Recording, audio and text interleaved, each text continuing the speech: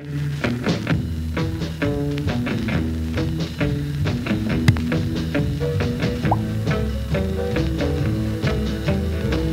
see now what we got now. A ham and cheese omelet, two French toast, order of bacon, a white toast, and a dark toast.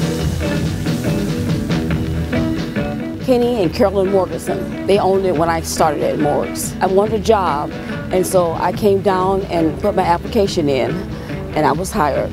That's been 57 years ago. The food is good. It is good here, and it's homemade, you know, and we try to do the best we can to make it good for the customers, you know. My favorite thing here, I like the pancakes, I like the hash brown, and I like all the goodies in the hash browns too.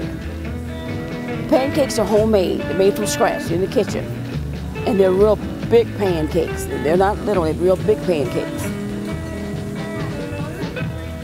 Nobody ever leaves here hungry. Some of the people, when I started, still come in nice people. They haven't changed a bit, and the new ones are nice people too. I've been coming here since about 1970. It's Just a good place. Some people, they sit at the counter, they hear us talk and laugh. They say, we like coming here. You guys have fun. I said, yes, we do. My grandmother raised me, and she raised me to be nice to people. I'm glad that I'm able to do that, you know. I, I like to see people smile. Come to Morgs, uh, you're going to enjoy yourself.